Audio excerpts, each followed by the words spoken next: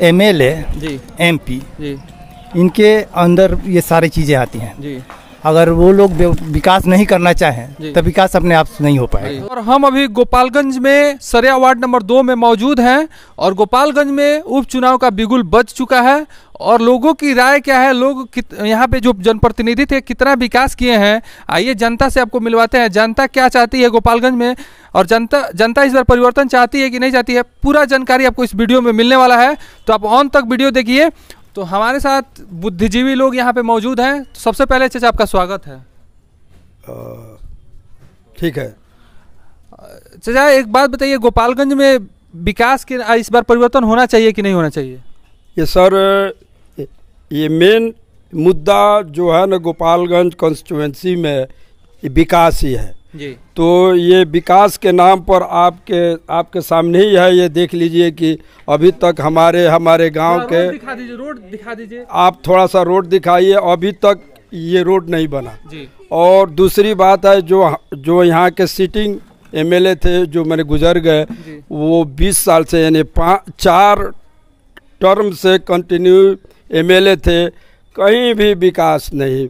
हुआ है। ज्यों का त्यों है तो इसलिए मेन मुद्दा है ये विकास और हम लोग इस बार परिवर्तन चाहते हैं। परिवर्तन आप किसको लाना चाहते हैं? आप तो हम तो सर आर जेडी का ही समर्थन ये करेंगे। हम एक जो नवजुवक जो हमारे उप मुख्यमंत्री हैं ये जनाब तेजवंशी साहब हम उनके सपोर्टर हैं। उनके पहले उनके ये बाबूजी थे लालू यादव उनको भी हम हम लोगों ने वोट मैंने दिया है। इस बार भी हम लोग उन्हीं उन्हीं को देंगे। उनसे आस है कि आने वाले ये समय में पू- ये गोपालगंज कॉन्स्टिट्यूंसी में आए थे ये तेजवंशी यादव तो वो बोल के गए हैं कि इन हम आपके ये गोपालगंज ज़िला में एक एक मेडिकल कॉलेज बनाएँगे और और हॉस्पिटल का भी एक्सटेंशन होगा।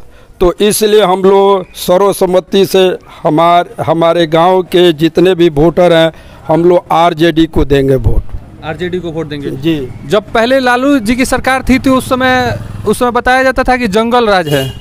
ये तो सर ये मैंने पार्टियों का है लेकिन जंगल राज को छोड़ दीजिए। जब था तब था।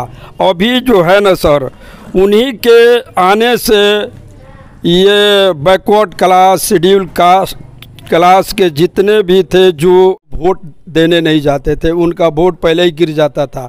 तो इस सबको देखते हुए लालू यादव जब आए तो पंद्रह साल में बहुत मैंने एक मंच पर छोटे बड़े को सबको खड़ा करके उन्होंने ये दिखाया कि वोट कैस, दिया जाता। आजकल के युग में सबसे ज़्यादा वोट बैकवर्ड क्लास के ही लोग दे रहे हैं। जैसे अवैसी साहब जी यहाँ पे पार्टी अपना एआईएम का टिकट दिए हैं असलम मुखिया को। वो बोलते हैं कि हमारी मुस्लिमों की पार्टी है एआईएम तो आप उनका समर्थन नहीं कर रहे हैं? वो तो सर ये भाजपा के बी टीम है। जी। हम लोग ओवैसी को हर हाल में सपोर्ट नहीं करेंगे। जी। क्योंकि वो आते हैं कहीं भी अपना कैंडिडेट खड़ा करके अपना और जो जो आरजेडी जहाँ से मैंने जीतने वाली है उसी को हरवा देते हैं। जी। तो इस बार इंशाल्लाह मुस्लिम समुदाय के लोग दो भाग में नहीं बटेंगे। जी। और सर्व सारे मुसलमान लोग सर्वसम्मति से ये जो जो मेरे गुप्ता जी हैं इन्हीं को वोट हम लोग देंगे। जी। तो इस बार जो भी मुस्लिम वर्ग के लोग हैं वो आरजेडी को समर्थन कर रहे हैं। जी जी जी सर। शुरू से ही जब से लालू यादव की सरकार पहले पहले उन्नीस सौ इक्यानवे में कि ये मैंने बानवे में ये बनी थी तो मुस्लिम के ही सपोर्ट से बनी थी और ये बैकवर्ड क्लास के लोग से।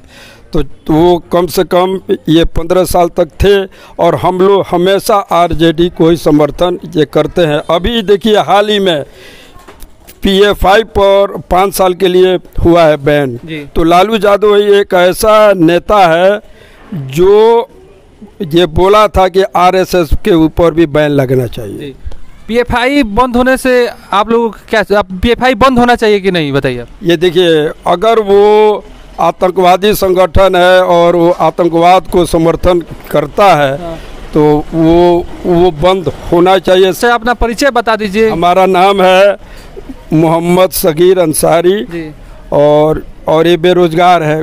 जब तक जब तक मैंने जवानी था तो मैं अरब में अपना काम करता था। अब तो वहाँ से आ गए रिटायर करके। बस अपने घर पर बिहार में बेरोजगारी है इसका कारण क्या है? बिहार में सबसे ज़्यादा बेरोजगारी है। बहुत सारे लोग युवा हैं जो वो गुजरात चले जाते हैं कमाने दिल्ली कोई कमाने चला जाता है। इसका कारण क्या है? मुख्य कारण क्या है? कहाँ से शुरू हुआ था इसका? मुख्य कारण है सर हमारे जितने भी सरकारें ये बनी कांग्रेस के थी लालू लालू जी का भी था नीतीश बाबू का ये लोग कोई टल कारखाना कोई भी डेवलपमेंट वाला जो जिसमें बेरोजगार लोग जाके काम करें उन लोगों को ये सैलरी समय से मिले। यहाँ कोई टल कारखाना जो शुगर मिल था वो भी बंद हो गया। वो भी सब हो गया बंद। तो ये बिहार के नौजवान लोग जाते हैं बाहर कमाने के लिए। यहाँ कोई भी रोज़गार का साधन नहीं है। आप गोपालगंज में किसको विधायक चुनना चाहते हैं जो आपके हित में काम करे? मोहन प्रसाद गुप्ता को चुनना चाहते हैं। कि- तो एआईएम को क्यों नहीं? मुस्लिमों की पार्टी है एआईएम उनको हम देखिए जातिवाद पर हम नहीं जाते हैं। हमको काम करने वाला आदमी चाहिए। जी। काम करके दिखाए ना ये जातिवाद हमारा हमारे ख्याल से बाहर है। असलम मुखिया मुस्लिम वर्ग से आते हैं। आने दीजिए। आने दीजिए उनको तो जातिवाद वो करने आ रहे हैं तो नहीं होगा। हो नहीं सकता है ऐसा। हाँ। तो इस बार आप लोग आरजेडी के साथ जाएँगे? एकदम जाएँगे। आपके गाँव में अभी क्या क्या विकास हुआ है? अभी पंद्रह सालों में भाजपा की सरकार थी गोपालगंज में सुभाष सिंह जी थी थे तो उन्होंने क्या आपके गाँव में विकास किया है? उनके अगर कुछ विकास किए होते तो उनके नाम का कहीं ना बोर्ड आपको मिल जाता ना। वहाँ से घूमते हुए आप चले आए हैं। कहीं आपको नज़र आया कहीं बोर्ड?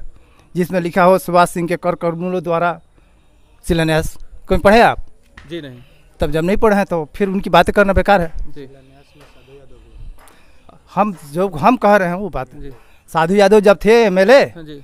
तो उन्होंने साधु यादव जी गोपालगंज के लिए विकास किया है कि नहीं उन्होंने? जब थे जिस समय वो एमएलए थे आप उनको छोड़ दीजिए तो उनके जैसा कोई एमएलए पैदा ही नहीं हुआ है। जी। जो उन्होंने विकास किया है चाहे जिस गली में चले जाएँ हाँ। या जिस नुक्कड़ पर चले जाएँ उनका बोर्ड आज भी नज़र आता है जी। कि साधु यादव के कर कमलों द्वारा। तो उनको समर्थन आप लोग समर्थन नहीं करने का ये तो व्यक्तिगत हुआ। जी। हम समर्थन करें ना करें हो सकता है कि हमको व्यक्तिगत वोट दे दें। जी। हाँ हो सकता है कि नहीं भी दें। ये तो हमारा ये व्यक्तिगत विचार है देखिए हम सरिया वार्ड गोपालगंज के सरिया वार्ड नंबर दो में हैं और हम डोर बाय डोर जाके आप लोगों को दिखाने वाले हैं इस वीडियो के माध्यम से कि जनता किसके साथ है और जनता किसको समर्थन कर रही है। चलिए हमारे साथ किसका समर्थन कर रहे हैं सर आपका? आप, अरे विकास के मुद्दा पर वोट करना है। जी विकास के मुद्दा पे। तो बीस साल में विकास किया हुआ देखिए ना नल, नल में पानी आया ना रोड बना है। जी।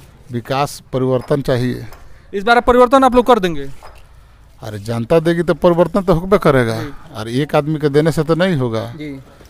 जनता तो आप लोग की पार्टी एआईएम खड़ी है उसमें असलम जी मुखिया खड़े हैं। ए आई एम पार्टी कहाँ मुस्लिम की पार्टी है? ऐसा अवैसी जी तो बोलते हैं कि मुस्लिमों की पार्टी है। बात है कहाँ ऐसा कोई बात नहीं है। अरे विकास के मुद्दा पर हम लोग को वोट करना है। जी। तो इस बार आप लोग किसके साथ जाएँगे? साधु यादव के साथ या आरजेडी आरजेडी के साथ? जो विकास करेगा उसी के साथ जाएँगे हम लोग। विकास हमारा गठबंधन के साथ जाएँगे। जे। आरजेडी जदयू गठबंधन को। जी।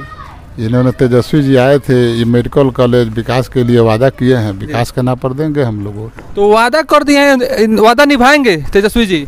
अरे तो बीस साल से तो लोग भाजपा वाला लोग तो वादा ही निभाया है ना विश्वास पर लोग वोट दिया है। चाचा आप किसका समर्थन कर रहे हैं? बहुत बुद्धिजीवी व्यक्ति हैं और बहुत बुज़ुर्ग व्यक्ति हैं आप किसका समर्थन कर रहे हैं? आरजेडी को। आरजेडी को समर्थन कर रहे हैं। जो खड़ा होकर उसी को हम लोग जी। क्या नाम हुआ चाचा आपका? हाँ? नाम क्या हुआ आपका? मजहर हुसैन। जी आरजेडी को इस बीस बार आप लोग आरजेडी को देंगे हम लोग। मोहन खड़ा हो चाहे जो खड़ा हो हम लोग आरजेडी को देंगे। जी आप लोग तेजस्वी यादव को देख रहे हैं। हाँ तेजस्वी यादव को। जी किसका समर्थन कर रहे हैं? गोपालगंज में उपचुनाव हो रहा है। RJD RJD RJD. आरजेडी को समर्थन कर रहे हैं। आरजेडी। सबसे पहले भैया का परिचय जानते हैं। क्या नाम हुआ आपका? मेरा नाम मोबिन अख्तर हुआ। जी। आप इस बार किसका समर्थन कर रहे हैं? आप एक नौजवान व्यक्ति हैं आप किसका समर्थन कर रहे हैं? महागठबंधन की। महागठबंधन के साथ जाएँगे। गोपालगंज में ए आई एम की भी पार्टी खड़ा है असलम मुखिया जी भी खड़ा है। और अवैसी बोलते हैं कि हमारी पार्टी जो है मुस्लिमों की पार्टी है तो आप उनको समर्थन क्यों नहीं कर रहे हैं? मुस्लिम हो जाने से मुस्लिम के समर्थन करना ये तो जातिवाद ना होगा। यहाँ जातिवाद वाली बात नहीं है। जी। विकास देखना है। जी।